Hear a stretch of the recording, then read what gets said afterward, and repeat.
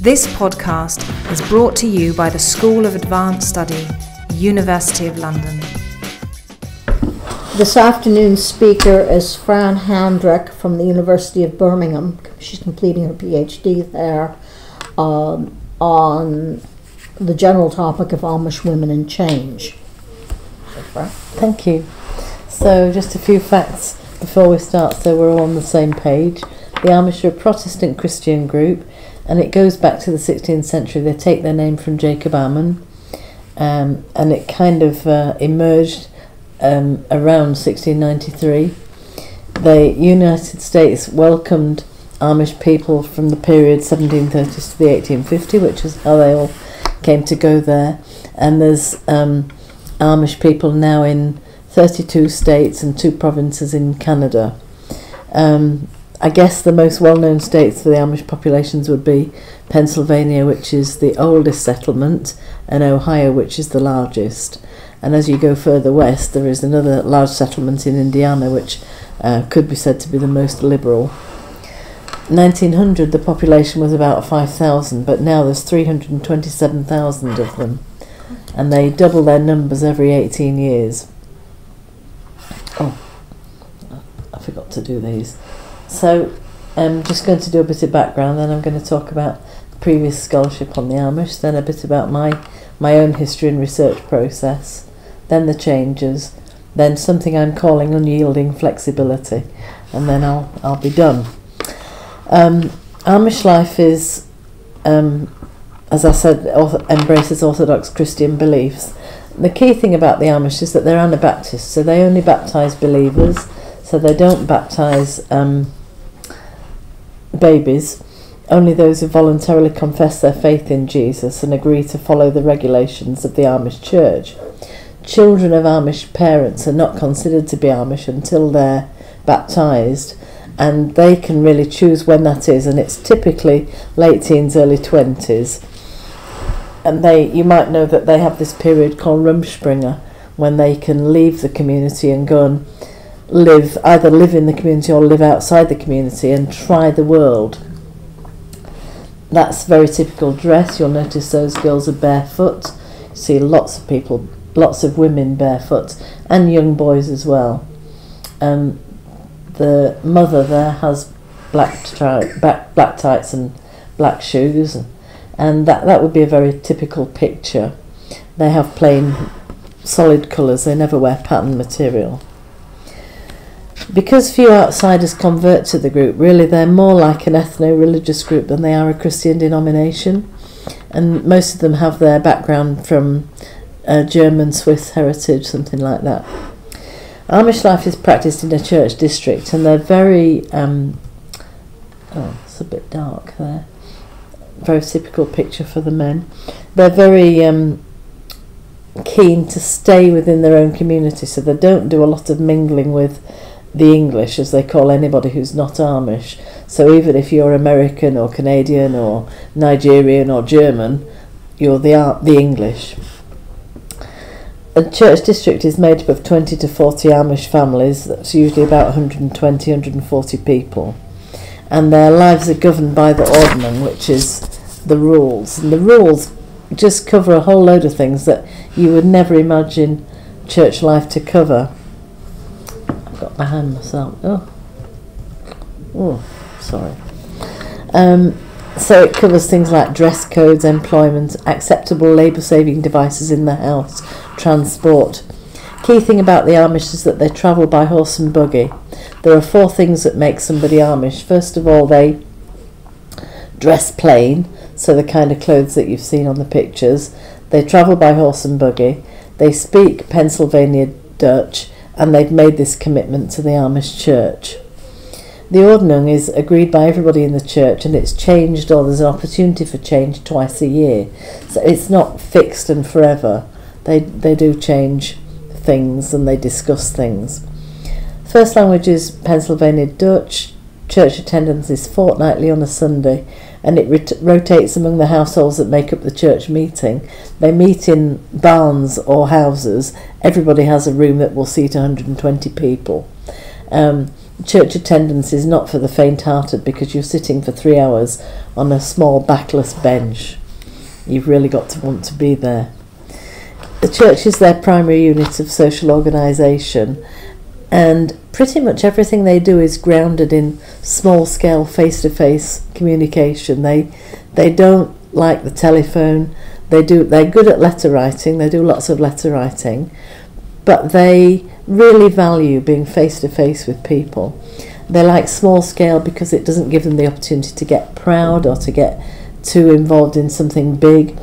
And many people will work for another Amish. They work together more than they would work for an English. In Indiana, that has changed in the last few years because um, some people in Indiana work in factories making these very upscale uh, recreational vehicles, and they do beautiful cabinetry inside these, but they're never going to drive one or own one because they're not allowed to own a motorised vehicle. Popular perception of the Amish is of people rejecting technology and dressing like their ancestors and riding in a horse and buggy. And that's part of the story, but it's only part of the story. So, previous scholarship I would say there's been more books written about the Amish in the last 10 years than in the previous 40. First of all, there was a 1300 page double-sided PhD thesis in 1956, which was an ethnographic study of the Amish of Holmes County. And then after that came John Hostetler's book. He wrote both those the same copy, same book, different editions. He was raised Amish, so he was able to give a lot of insights that researchers don't normally get. Um, Gertrude Enders Huntington's long PhD thesis was really very in depth. I don't know if there's anything she doesn't cover in 2,600 pages. But there's a lot of things that she was not able to get the insider's view on because she was not an Amish herself, whereas John Hostetler's book will talk about um, the sanctions to the disobedient he will talk about the Ordnung and gives examples of Ordnung which you don't see written down. Um, it's still a fascinating study and, and is a baseline for how the world as well as the Amish have changed in that time. He wrote about the Old Order Amish in Pennsylvania and she wrote about the Old Order Amish in Holmes County. So I ought to tell you that there are Old Order and New Order and I work with both of those but there are some more conservative people who are the Swartzentruber, the Andy Weaver, the King branch, and every time there's a um, a division over something to do with the Ordnung, they they name themselves after the bishop who led the group away. So that's why they've got Bishop Swartzentruber was very key, and now that's probably the most conservative group that there is. They don't have indoor plumbing, they don't have hot water, they don't have um, upholstery. They are very, very strict, and their sanctions are, are really, uh, I don't know what the word would be, but very difficult to get your head around really in the 21st century. Um,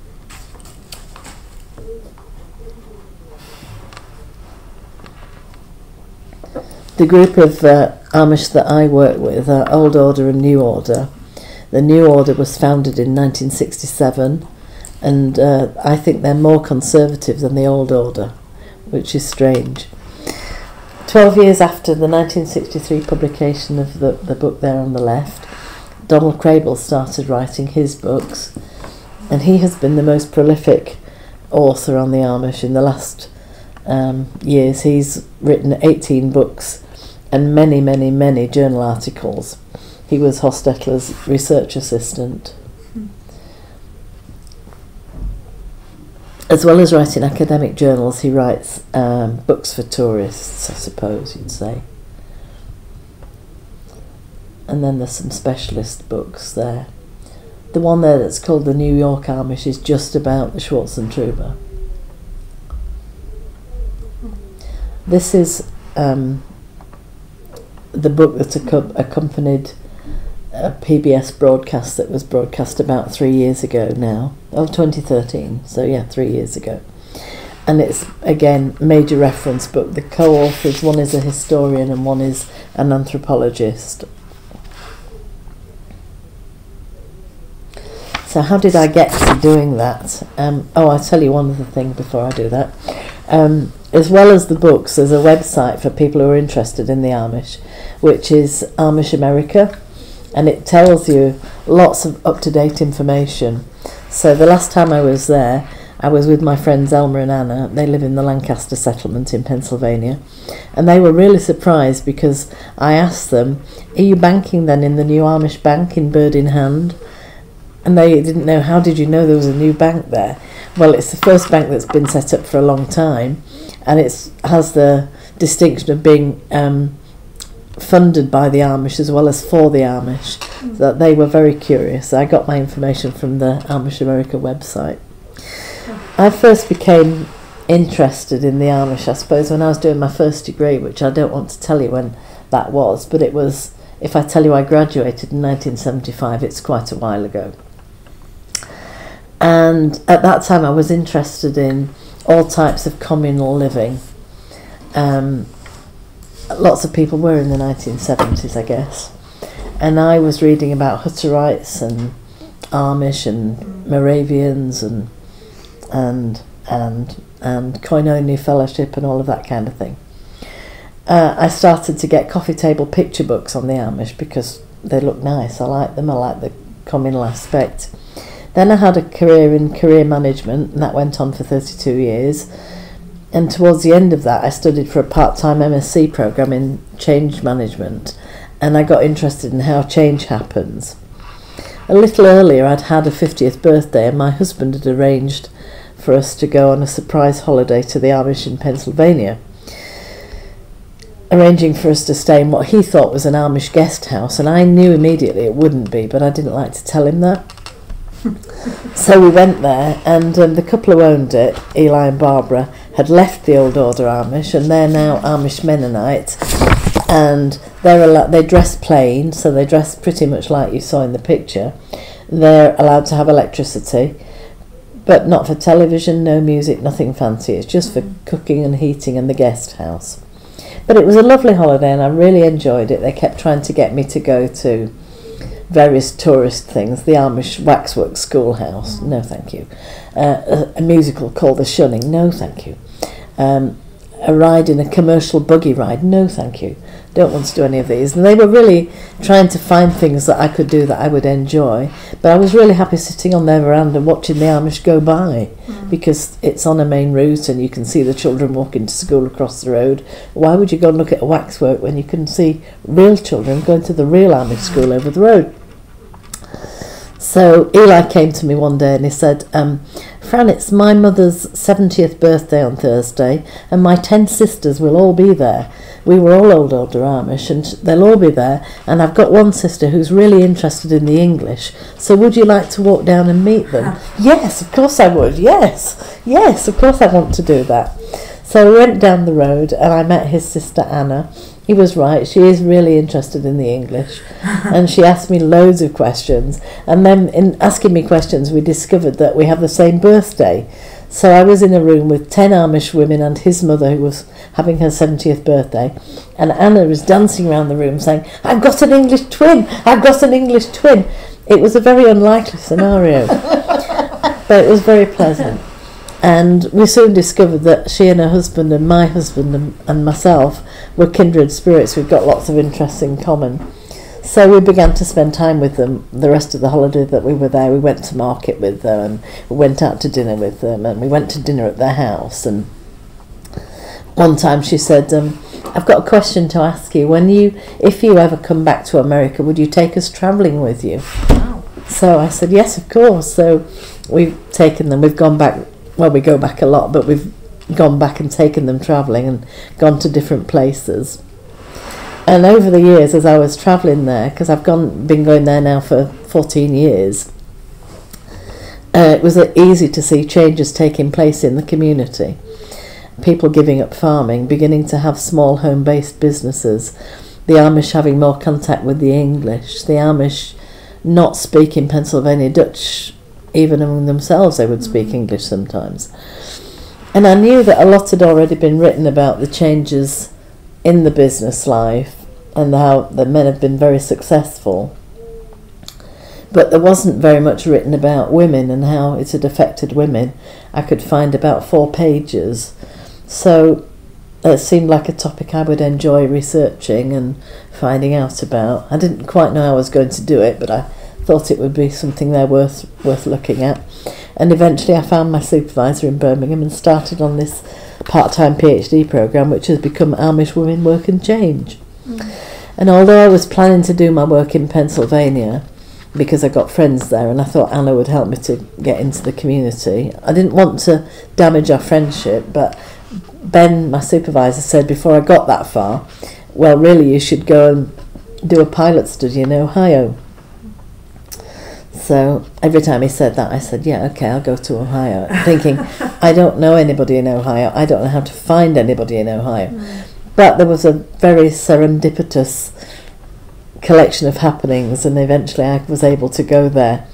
And I stayed with an elderly Amish couple and another ex Amish woman who acts as a gatekeeper for me identifying old and new older women that I could identify that I could interview. And I could ask them about the changes and how they feel about it and what's changed for them and um, how do they feel about the changes that's taking place in the community? What do they think will happen in the future? I've used snowball sampling, and each time I interviewed someone, I would ask if they knew of somebody else. Mm. It was a bit haphazard, but over two years, I made three fieldwork trips and stayed in a lot of different Amish homes. Interviewed 38 women in detail, usually spending about two, two hours with them, maybe more. Um, sometimes being invited back for dinner. So that's going to sisters' days. The women spend a lot of time together, so I would go to sisters' days and talk to them. I go to, oh, that's a quilting frame in somebody's house, so they would come round and quilt. That's where the elderly couple that I stay with. So they would sit around there quilting. They won't have their photographs taken, so there's nobody there. But we would sit round the quilting frame and I'd turn my recorder on and we would sit and talk. And there you can see them quilting again and you can see a few Amish arms and, and fingers sewing. And I turned up to family frolics and we canned vegetables and baked bread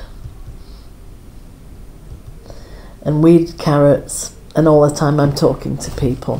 So I've done lots of things within the community um, in Ohio and in Pennsylvania.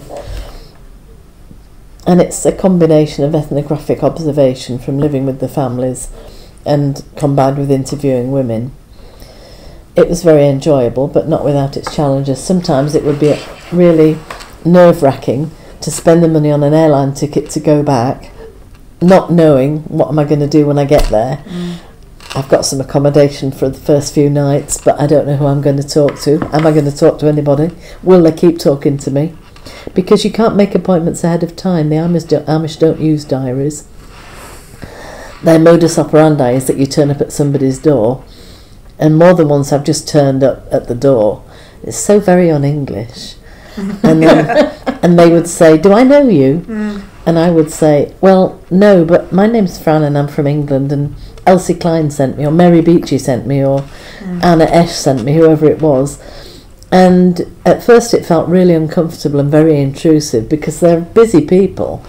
But um, I was never turned away, and gradually I felt confident to do it like that. And now I have no qualms about doing it at all because a lot of them know who I am. Mm when it's possible, I use a digital voice recorder to record the interviews. Only a few times they've not wanted me to record them. And the reason they don't want you to record them is because they think of a voice recording as a photograph of the voice, right. and they don't do photographs. They don't allow photographs. If they wouldn't let me record them, then I would take copious notes and very rusty speed writing. It was a bit sad, really, having to do that. Um, but non-directive semi-structured interviewing to ask a range of questions about how they live now compared with how they grew up, how their mothers lived, how their grandmothers lived, what changes they like or dislike, what work their husbands do now compared to what they used to do when they got married, whether or not they earn their own money, and if they earn their own money, what do they do to earn it, and mostly it worked. I got lots of things, lots of information about things I hadn't read about. And they told me things I had already learned through reading. But because the ordnung is variable from one congregation to another, it was it can be interpreted um, flexibly, variably, I suppose, and that inevitably means that there's not really going to be a cookie, cookie cutter way to be English, to be Amish. It seems as though because they all look alike, the temptation is to think, well, you know, they are all pretty similar, and there there is some kind of facial characteristics that are similar because they they all came from a very small number of families, mm. so there is a similarity. Um, but gradually I began to realise I'd got a body of information that hadn't always already been written down. So, what are the main changes? Um, I'll talk about them by the number of people who told me about them. So, the first thing that people told me about was that they do fewer things together compared with what they used to do. Mm. So, they're not farming so much now at all, and now that they don't do as many things together because they always used to do things on the farm together, that has given them a lot more free time because they're not tied to milking cows twice a day. Um, it's given them a lot more contact with people who are not Amish.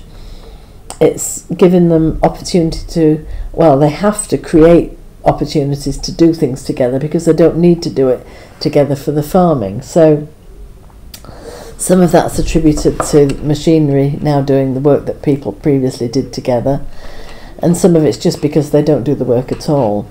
But they tell me stories about how they would pick corn manually, six or eight of them, and work together for 12 or 14 hours a day for two or three days until all the corn had been mm. picked. And now it can be done with a man, a buggy, and a harvester, sometimes with a boy.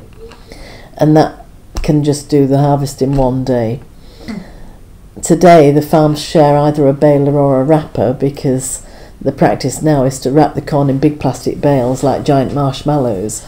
Are we talking about corn, corn on the cob or corn wheat? Corn wheat, sorry, yeah. And so they wrap, and it's in these enormous big bales in the corner of the field, but it's all wrapped by a machine. Where they used to do it themselves, they used to pick the corn, stand it, stack it, dry it, and then go back and wrap it up, and then take it to the barn. Um, and it might or might not have been wrapped in anything. Sometimes it was just tied together, but they worked together to do that. Where now it's all done by a machine. The next thing that they told me about was the decline in dairy farming, and that's come about because a lot of the increased regulation for farmers to refrigerate their milk and to store it in refrigerated bulk tanks. To do that, you have to have electricity. And they don't have, if they want their milk to be sold to a bottling plant, it's got to be refrigerated. Lack of electricity makes refrigeration difficult. It's not impossible, but it makes it difficult. And if it's not refrigerated at all stages, it can't be used except for cheese making. In the past, women made the cheese at home by hand and sold it at the farm gate but again, state regulation has meant that they can't do that now because unpasteurized products can only be sold with state approval, and some some states ban it completely. So if you're in Pennsylvania, you can't get unpasteurized milk or cheese. Um, so that makes it impossible for the Amish farms, without the means to refrigerate their milk, to carry on trading. In other districts, the, the Ordnung doesn't allow the use of electric generators to power the refrigerators. Mm. The Amish, in other areas, the Amish are unwilling to agree to the use of bulk trans- tankers to store the milk, and others don't allow the milk to be collected on a Sunday. But the cows don't know it's Sunday, so they still need milking. But if it was collected on a Sunday, it means the farmer's got to work on a Sunday, and that's it's not acceptable. Some of the more conservative Amish churches don't agree to the use of bulk tankers in case Amish farm milk gets mixed with English farm milk. Huh. Because their ordnung views the importance of separation very as being very important, very key for them. The women talked about the decline in the number of women sewing their own clothes. Historically, a woman would sew all the clothes for the family, including underwear. But now they buy the underwear. You rarely see, even the Swartzentruber will buy their underwear. Um, the women used to make men's and boys' shirts, but now they again they, a lot of them buy them and they just adapt them by taking the buttons off and the pockets. Did you know that buttons were worldly? Buttons are very worldly. Goodness. You can get proud of how your buttons are, so that's not good. In Ohio, it was especially noticeable that the young women didn't make their own clothes but bought them from an Amish clothing store or paid someone else to make them. And that's another change.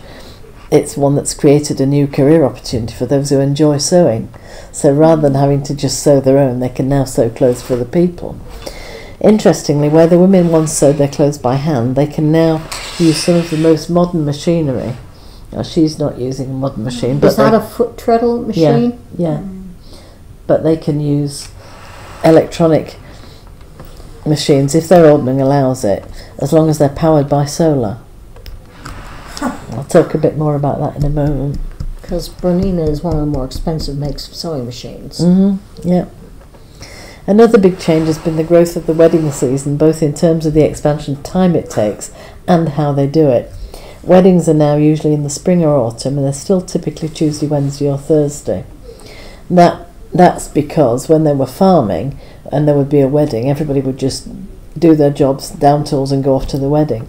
Now that they have to accommodate to working for the English or have English people working for them, they've needed to be a little bit more organised about when they have the weddings. Wedding typically will have four or five hundred guests, and historically it was catered for by 30 people, and it would be considered an honour to be chosen as a cook at a wedding.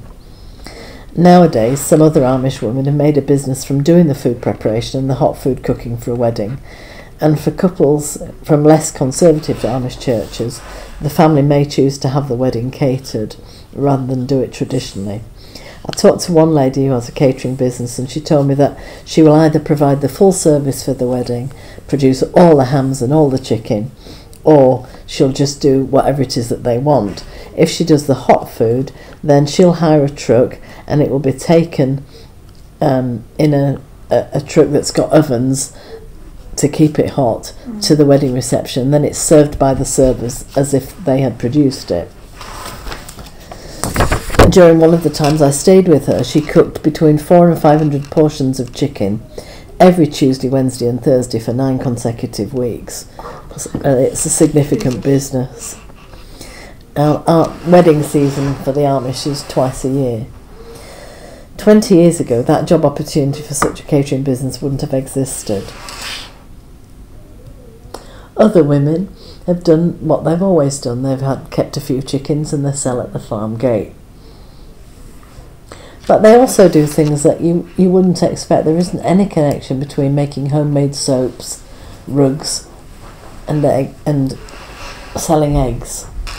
And how you know that it's a an Amish family is that the sign says no Sunday sales.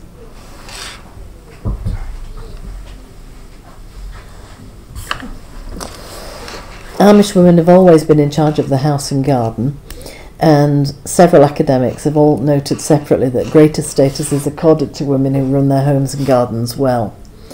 Some women have developed this into a job opportunity, so now there are commercial greenhouses just run by women, selling to local people, selling to tourists, sometimes selling to other Amish. And they either develop that job in opportunity from their own garden or they do it from additional land that they own or rent. So another woman I interviewed has a business making and selling hanging baskets and she thinks nothing of selling nearly 2000 a season. Fresh fruit, vegetables, jars of canned goods and hanging baskets all form part of the work traditionally gendered by the Amish as women's work that have been turned into successful businesses. They also use the businesses to train the children how to work. This is a really key thing for them because the Amish work ethic isn't caught, it's taught. And so they use the farm, use the business to teach the children to work. The first Amish child I ever met, I said to him, "So, um, Elmer, what do you what do you do on the farm? Oh, I look after the chickens. I collect the eggs." So he's walking to school in the morning, and they go at seven o'clock. And how many hens have you got? Um, oh, about 400. But before he goes to school, he collects the eggs. So he's up four o'clock in the morning to do that. What age does that start at? Pardon? What age does that start at? They start training them to work when they're about three, three or four. Crikey. He was seven, I think seven or eight when I met him. Um, they see having a job on the farm or at home as part of training them to be responsible members of the family. And their families are quite big. I mean, even now, their families are six, seven, eight, nine children. They aren't as big as they used to be. I stay with two families where they have 19 children. Um, it's a different way of thinking and a different way of living. By one woman? Pardon? By one woman? Uh huh. Yeah. By with um, the demise of the farm, it's become necessary to find other opportunities to train the children. So they use these businesses as a way to do that. Working with their mum is one way to do it. One of the biggest surprises to me in my research was the discovery that Amish women are active in multi-level marketing businesses. So companies like Amway and Kleeneze and Avon and NSA, where the distributors not only sell the product but recruit others into the business to um, to share their business success. And people brought into the business like that are known as their downline. Amish have always been very interested in health and health products, vitamins, natural products, things like that. They tend to use natural medicine rather than going to to a, a pharmacy or a hospital. I met two women who had really strong businesses um, selling these products. Uh, the business is called AIM. I don't know what it stands for, but it's um, the herbal products. And one of them had a downline of almost a thousand, and another eight hundred. And these are women, old older Amish women, who are going everywhere by horse and buggy, having a phone in the barn, not using a computer, but they've got sizable businesses. And that was almost four years ago, so I'm sure by now their businesses are bigger than that. Miriam, the first one, told me because I couldn't keep from sharing about people how much better I felt since I was using these products and how healthy I felt, they could have better health too. when I did that, my health business just began to grow. People sent me their friends and family to tell me about the business. I never intended to have a health business, it just happened when I couldn't quit telling them about how much better I was feeling. So her business grew easily and she became a top salesperson. Within the first two years, she was rewarded with a free, free trip to a sales convention. And since then, she's been to Hawaii, Arizona, Texas, Virginia, Utah, and two trips to Florida. But not by horse and buggy. No, on the bus. They use the Greyhound a lot. Or they could go by train. She told me that she got into trouble for going to Hawaii because you can't go to Hawaii except by flying, and the old order Amish are not supposed to fly. But she and her husband decided to fly anyway and um, take the consequences. But she told me they wouldn't be doing it again. Um, so she had nearly 1,000 people in her business, and most of them would be Amish. Second example is Clara. Clara's a young married woman, I would say, in her mid 30s, and she works the, the business with her husband, Caleb. And in nine years, they built the business from nothing to having a downline of 700. Also, in those nine years, she had five children. They have the downline in 42 states, and more than 650 of them are women. Again, all, all Amish. She told me somewhat regretfully that because she's already been rewarded with two Caribbean cruises, they won't be able to go on any more cruises because her husband had just become a minister in the mm. church and a cruise would be frowned on as being too worldly. One of the things I think I'm seeing is a change in how how plain the Amish community is now compared with how plain it used to be. The um, in Hostetler's book, he talks a lot about what the Amish houses look like and how they have plain white walls and wooden floors and blinds at the windows that can be white or green and no decorations. And he talks about plain dress and houses being plain, simple and plain lifestyles.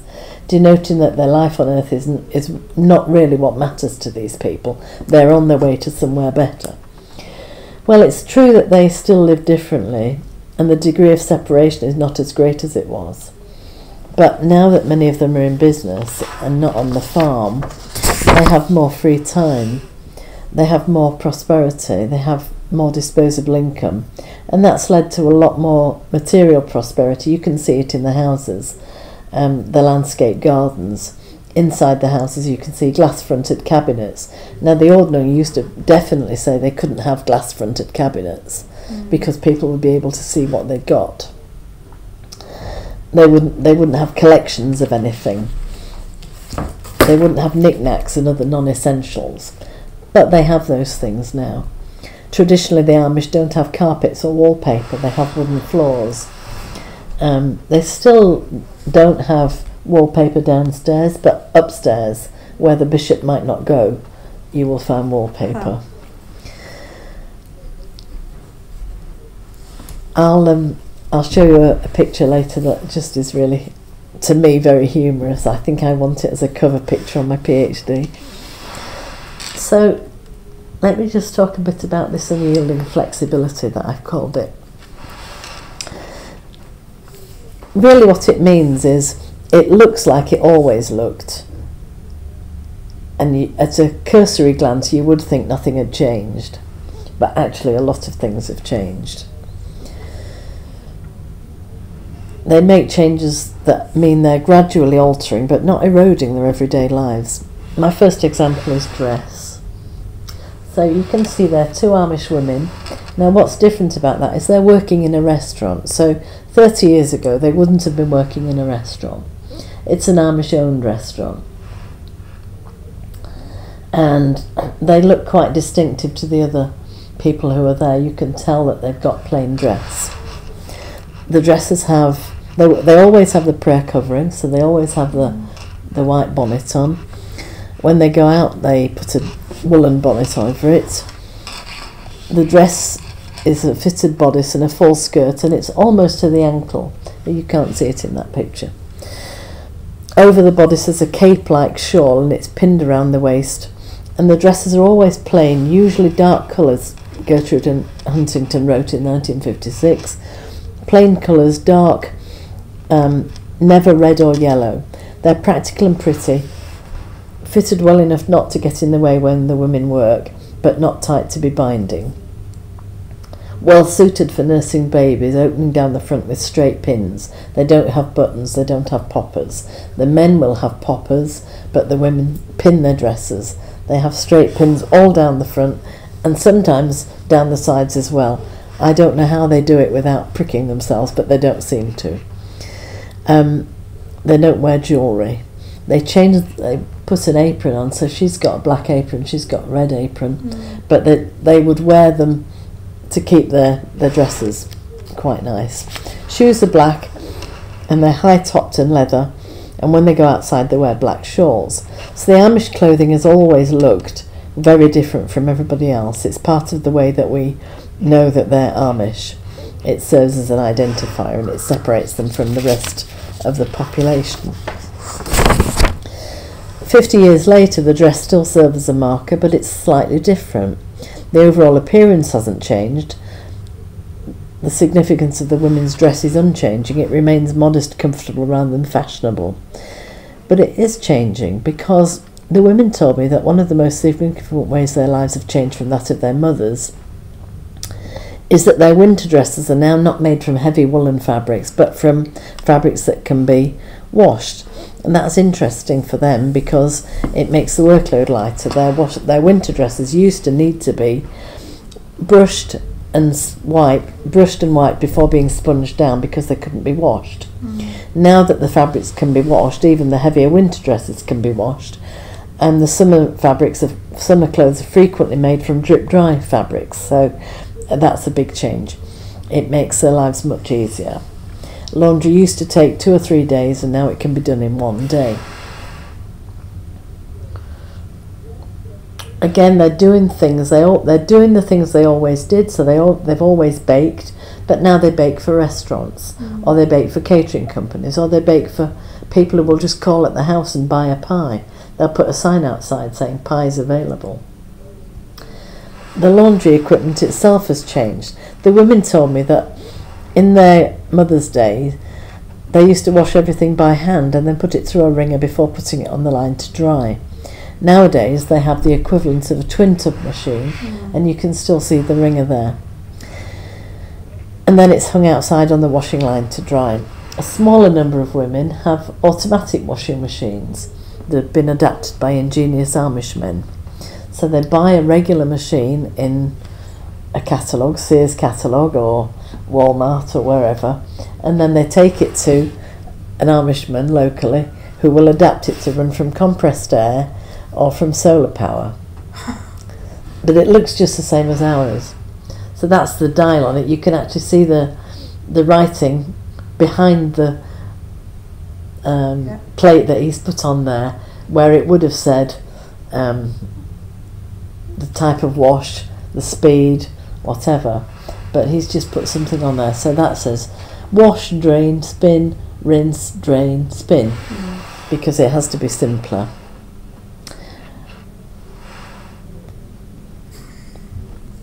The automatic washing machines are very much loved by the few women who have them because they're able to, much as we do, put washing in and then get on with another mm. task. They don't have to be doing anything else.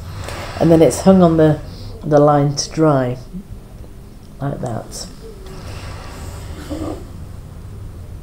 And what's curious about that is that you can see the range of colours is extended far beyond plain dark colours. That's an older lady's washing line. But you can see on that one, there's teal, there's orange, there's red. In the old nun um, that Gertrude Enders quoted from, Gertrude Hunting, Huntington quoted from, yellow and red and orange are specifically forbidden. But now they've moved on to having those. And even there, there's a red shirt. So are those still pinned together? Um, some of those are pinned and some of them are sewn. Yeah, I know that family, and they the older girls pin theirs because they like it, but the younger ones they they've stitched them. Considering the appearance of the shoes, many women still wear the black high top shoes, but they might not be leather. They might not be high top. They might be made from something other than leather. A lot of the young girls wear trainers, and they might or might not be black. The um, ordnung won't be applied rigidly to the young people who have not yet become been baptised, so they get away with um, wearing trainers, but they probably would still not wear them for church. One of the things I noticed through about three years ago when I went was that suddenly a lot of the Amish were wearing Crocs, which I hmm. just thought that was astonishing because they're a fashion shoe. And I said to one of the ladies, Amanda, I see you wearing fashion shoes now. And she said, Yeah, aren't they? I like them to wear them in the house and the garden. They're so comfortable. And I said, "Wh- What does Jacob think? Jacob is their minister. Oh, it's all right as long as they're black. but she wouldn't wear them for church. So dress looks the same, but there are some changes. And they're keeping to the rules by wearing Crocs as long as they're black. This is Ruth. Um, you can see there Ruth is wearing trainers. Ruth is posing for a photograph. Now, she said to me, Will you take a picture of me? And I said, Well, I can, but I wouldn't. She asked me, Did I have a camera? And I said, Yes, I do. Would you take a picture of me in my garden? So I said, Well, I can, but it wouldn't occur to me to do it, Ruth. And she said, Oh, nobody's going to make a graven image of me. Look at me, that's the reason we don't do it, but nobody will. I just love a photograph. So I took a photograph, and she's wearing trainers. This photograph really amuses me because you can see they've got swags in different shades of blue at the at the window. But if you were looking at that window from outside, what would you see? Just the blind. Just the blinds. Yeah. And it was like that at every window in that room. And I asked her, um, I know Ruth pretty well now, and I said to her, Ruth, this is a very um, elegant room nowadays. And she said, Yeah, the bishop's room is downstairs. So when the bishop comes to visit, he never gets to see the sitting That's room. an upstairs room. Yeah. Mm. Well, because of the way they've built their house, Mm. it looks out. It's the lounge is upstairs and it looks out. It's beautiful. Mm. Um, my second example about unchanging flexibility. Um, so it's a glass fronted cabinet full of nice fancy things. Mm. Feels really strange to be talking about a woman's kitchen, but that's how they view it. Work is gendered and the women work in the kitchen. Gertrude Enders Huntington said the lack of electricity was most noticeable in, in the kitchen. And the reason they give for not using electricity is that it's if they did that, they would be really closely connected to people in the world. Depending on the power line is quite contrary to how they are because the power power line belongs to somebody else and they want to only depend on God and they don't want to be joined to anybody who is using this power line because they use it for all kinds of ungodly things. Um, there's also something else, it's a bit spiritual. It's to do with electricity being a bit mysterious to them. They, do, they only have a, an eighth grade education and it doesn't, it doesn't encompass any science. So they don't really understand how electricity works. And they think of it as a spiritual thing. They know that it's power and it comes from the world. So they also think that the power in the world is from the devil and not from God. And therefore it must be sinful. And if they allow the power into their homes, it might destroy them with all of the things that they could bring into their house. They could bring in um, computers, TV, music, the internet, things that would not help them to get to heaven, which is where they where they all believe they're going. They also might get very proud with how quickly they could do things because they don't think that's a good thing. To be proud is a terrible sin in the Amish world and the Amish thinking. And they'd lose their sense of separation from the world because there wouldn't be any difference between how they live and how anybody else lives. But that's an Amish kitchen and it looks a little bit old fashioned but also has all the things that we might expect to find. So they've got lights, they've got a fridge and a freezer, there's a nice big cooker. But no dishwasher. No, no, because that's part of training your children. If you've got a large number of children, the children learn to do the dishes. Oh, how are it. these things powered? Compressed air, solar, battery. Right. It depends which. It Not a depends. generator. for. Sometimes you can have a generator. Okay. Um, Did they use gas? Yep, yep. Gas refrigerators, gas freezers. Um, they have all these kind of, um, well, Kraybill calls it cultural bargaining, things that they will agree to do and not do. So they can use a lock-up fridge refrigerator or a lock-up freezer if it's plugged into the electric because they don't own it. So they're just going there and using their freezer owned by somebody else and paying rent for that Mm. on a monthly basis. They just have all these little workarounds. It's very interesting. Um, sometimes they'll have batteries in the basement, enormous batteries that will power things for days on end. Yeah. Um, electric floor polishers. You can find food processors. So I've got there some examples of how different it looks. It's a gaslight fixture. There's a skylight. They quite often have skylights, which are really interesting. There's a smoke detector there on the Mm. top right, and that's unusual. There's a lot of arguments about when they should have smoke detectors because that's almost relying on an invention of man rather than trusting in God to keep you safe. Laminated flooring. They have often they will have water from a well on their property. Mm. So did they have a pump on that or hmm Compressed air. That's um, a pantry. There's a food processor. There's a mixer. Mm. There's a yogurt maker. There's a blender. It's a protein shake. Yeah, there's a protein shake. So that's gas powered? That's gas powered, yeah. I can't even begin to think how that works. Neither. Some of their things are um, historically they've in recent history they've had bottled gas, but in Ohio they found gas on the land of lots of the Amish people, and so they have um, come to doing deals with the gas companies where they can have the gas well on their land and it can be used and it, the gas can go wherever gas goes to be used by everybody else but they get free gas for life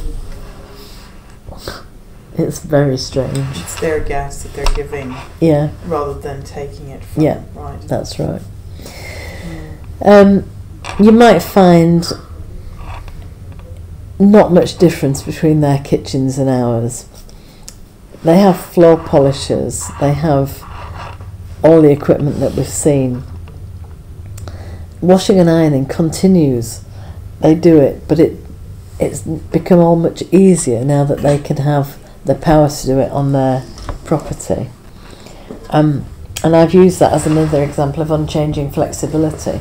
It's unchanging because they still do it on a weekly basis, the washing and the ironing, but there's a flexibility because they've got twin tub machines.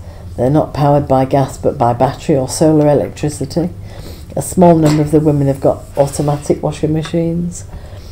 Um, they're they like to use now solar whenever they can because they see that as coming directly to them from God. They even talk about it as being God's electricity.